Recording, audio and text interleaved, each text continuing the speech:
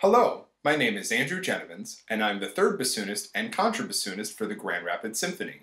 Today I'm going to be giving you a demonstration of the contrabassoon, a woodwind instrument that sits near the back of the orchestra in the bassoon section. I first saw a contrabassoon in my high school private teacher's studio. My teacher had it sitting in the corner and I was just mesmerized by it. I mean, look at it. It looks like it belongs in a submarine. After getting to try the instrument a few times, I began to play the contrabassoon in college when I was assigned to play it for the first orchestra concert of the year. I quickly got help from my teacher learning the basics of the instrument and began to practice it just as seriously as I practiced my bassoon. I have been playing the contrabassoon for almost 11 years now.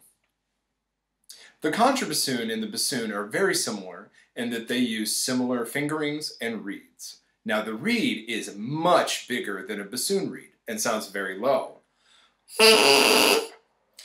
Also, the, there are no open tone holes on the contrabassoon as you can see, so you use these keys to play your notes, and they're on all sides of the instrument. There's the back side.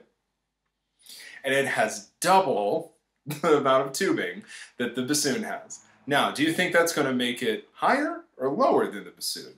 Let me start at the top of my instrument's range and work my way down, and let's see what happens.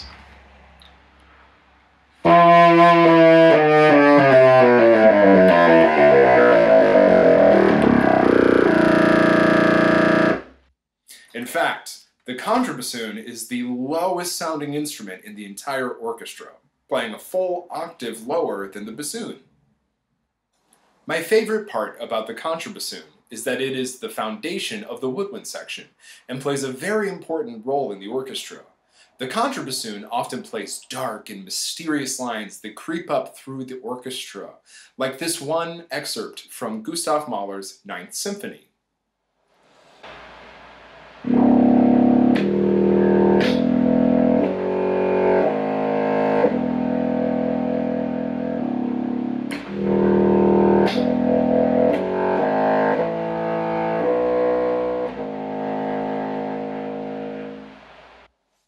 Another role of the contrabassoon in the orchestra is when it plays music similar to the string bass, the closest relatable instrument in the string family to the contrabassoon, as they both play in a low range.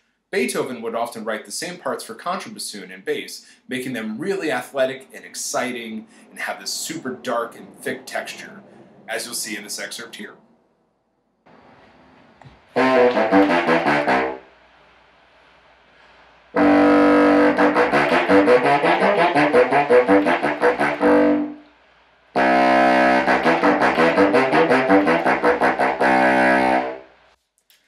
Finally, and more rarely found, the contrabassoon will be given the melody, often depicting large animals or dark creatures, as depicted here in a movement from Ravel's Mother Goose Suite, titled Conversations of Beauty and the Beast. Can you tell whether or not the contrabassoon is the beauty or the beast in this section?